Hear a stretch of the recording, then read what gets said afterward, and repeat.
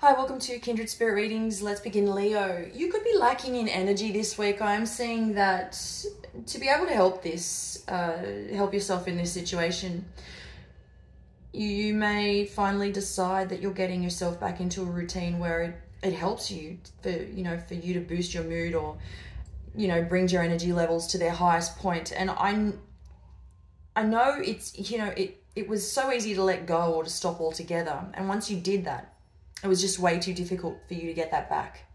The path to where you were transforming for the better and you know you were balancing out any emotions. You were all about strong vision and there is that sort of lacking in that area this week which needs attention. Uh, but it's entirely up to you as i always say what you do and how you do. It's just that there will be that lack of energy and this has the potential to last all week.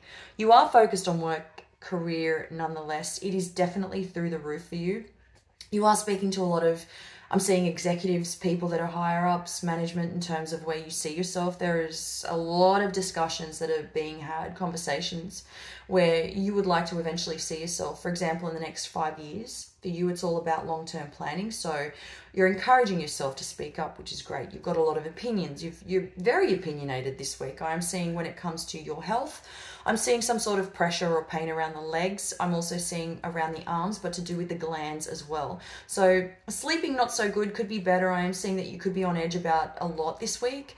You could be susceptible to unleashing certain parts of your personality, even this week, that you probably uh, are not doing this intentionally, but due to lack of control or something that is hard to level out in terms of yourself. If, if you're not setting boundaries, you could get yourself into a little bit of uh, trouble or a bit of a quarrel with people near and far. This is definitely on its way. I do see that you could be at opposites this week. And what I mean by that is you are over analyzing, you're overthinking way too much, but then you go and make a decision at the last minute because you didn't think it through at all.